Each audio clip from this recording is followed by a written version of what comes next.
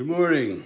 Um, today we look at Chron- First Chronicles 13 through 15, continuing uh, much of what we will hear of David, and and uh, it echoes some of what we read in in First Samuel and um, about the mighty men coming and, and different things happening. And uh, chapter 13 starts with David uh, consulting the commanders of the thousands and of the hundreds and every leader and saying to them, if it seems good to you and if it's the will of God, let's go get the Ark of the Covenant and return it to the temple. And everybody says, yeah, that's a good idea. And God agrees as well. And he says, yeah, it's time for the Ark of the Covenant to come. And they're they're moving it, and and as the story was, we, we same story with it, you know, as uh, somebody kind of stumbled and the ark moved, this one man reached out to support it, and uh, and he died because of because of that, and um, his name was Uzzah, and so they called that place, you know, by his name as a reminder of that. And then it says that David uh, was afraid then of God. He was, you know, this this act of, of, of Uzzah dying before, because he had touched the ark um, and granted, I mean, he was not one of the Levites, one of the priests, and it was only the priests that were to handle it. Uh, so anyway, the ark then was left in a in a different place there for, for three months. It remained in the household of Obed Edom, and, and it says his house was blessed for three months. And again, we read that in First uh, Samuel or Second Samuel, one or the other. And um, then as chapter 14 starts out, the, the king of Tyre uh, sends this message to David because David is um, you know, getting ready to build the, the temple and, and he says, I will, or the, the temple and his house, his mansion as well. And so the king of Tyre sends a messenger along with cedar logs and masons and carpenters to, to build this house. And and it says it's it's now that David perceives that God has uh, chosen him or established him as king. I suppose I shouldn't say chosen, but established him because uh, David had been chosen by God to be king while Saul was still king, while Saul was still living. So there was that conflict in there. But now David understands that God has established him when the kings of the other nations and the other countries um, recognize him that way.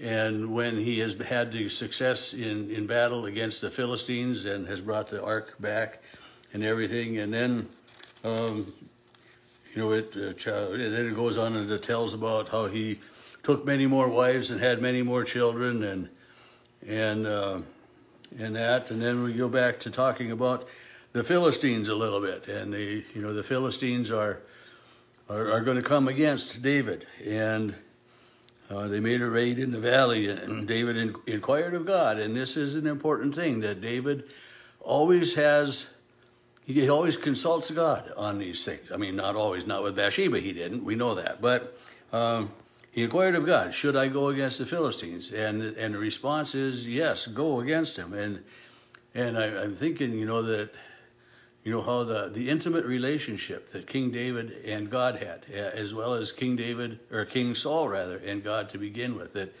that God was so intimate with the people, so uh, available to them, and, and and through the prophets, how how so often God spoke to the prophets, and the prophets came with messages, and you know, and we hear people say today that oh, if God would only send a messenger, and and um, you know, God sends you and me. I mean, all the time. I mean, we are God's messengers. We are God's ambassadors in the world. We are we are the prophets, and we, and we are to look at the word and, and to not misinterpret it, not to misrepresent it, but uh, but we we today are, are God's voice in, in the world, and we need to remember that.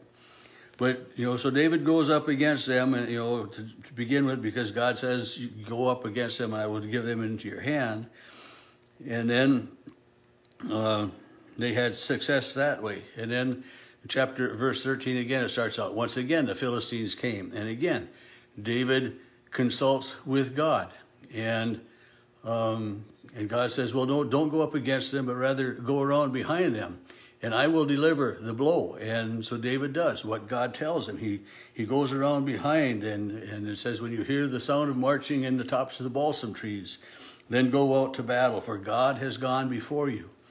And and so God is is blessing David and the people of Israelite with his leadership, with his um, dominion over the other peoples that would come against his chosen people. And uh, the chapter 14 ends with the fame of David went out into all of the lands, and the Lord brought fear of him on all nations. So, and the fear is probably both a little bit of the afraid fear, but also the respect fear. That you know they they they feared David and, and the armies of the Israelites because they knew that if they came up against them, that, that God was with them, and that with God's leadership, they had no chance against them but also the, the respect aspect of fear is in that in that they knew that you know David was chosen by God, established by God, and and was a, a good leader that way. So then, chapter 15 deals with David uh, building the house for himself in the city of David and preparing the the place for the ark of God, and and it says pitched a tent for it, you know, because David is not the one to build a house for of the temple. That's going to be Solomon that does that. So in David's reign, the, the, the Ark of the Covenant and the, the, tabernacle is, is still the tent that, that God had instructed to be built, you know, way back in the, um, in the time of the flight from, from Egypt.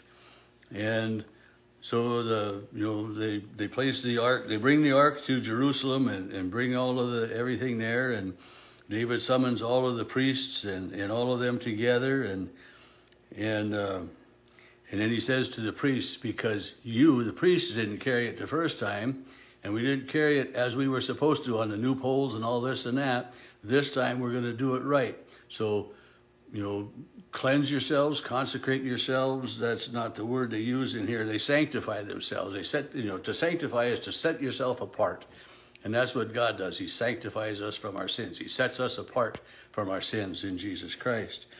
So they sanctified themselves. They cleansed their bodies uh, so that so that when they carried the, the Ark of the Covenant, they were they weren't unclean in any way. And you know the the rituals of clean and unclean are are quite extensive many times as well. But the the Levites cleansed themselves, sanctified themselves, and, and they carried the ark. Uh, it says they carried the ark of God on their shoulders with poles as Moses had commanded according to the word of the Lord. So it wasn't just Moses' command, but it was the Lord's command. And so the under David's leadership, the, the Levites and everyone was were not um, they were all following God's laws and God's command.